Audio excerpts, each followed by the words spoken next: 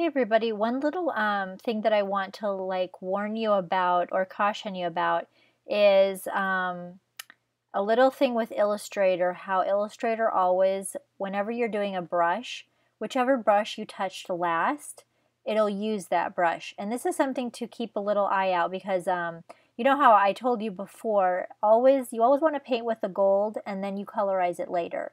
You know, whether you're touching one of these and then going into your brush stroke like so, or you know, you're just um, selecting a brush over here from the panel like that.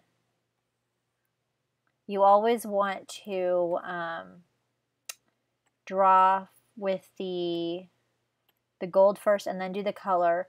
Um, and one thing that you want I want to caution you about, I'm going to select this stroke and I'm going to use my eyedropper and make it colored.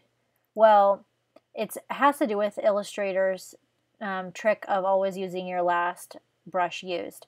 Well, say I'm taking this brush and I'm going to, you know, play around with the color just a bit. I want it to be this teal.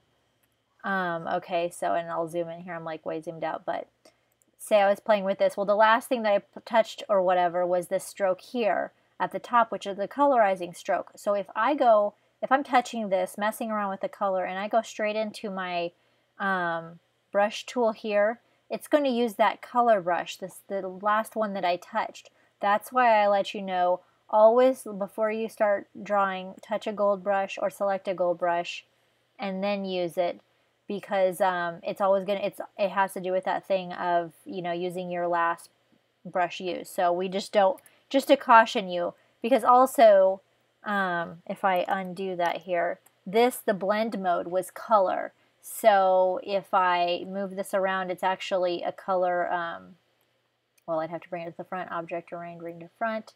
As you can see, this is a color brush, so it's not even like a regular opacity. So definitely follow, um, whenever you're using these brushes, they're quite easy, but just follow the protocol of selecting a gold brush and painting with a gold brush. Um, when you're going in to do that kind of thing. Don't uh, don't make sure that you don't just touch um, a colored brush and then go straight into painting because if this top layer is selected like this, you're it's not going to be good. So it's going to give you a brush stroke with the opacity of color. So we just want to make sure we grab the right brush and then start painting here like that. And then we can colorize it. Then we can just grab all this, take our eyedropper tool, and bam, colorize it.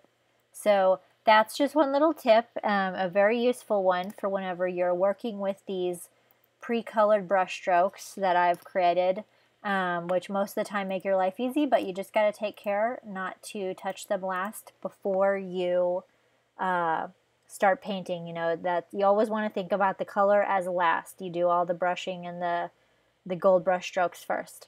So, okay, well, hopefully you'll enjoyed that.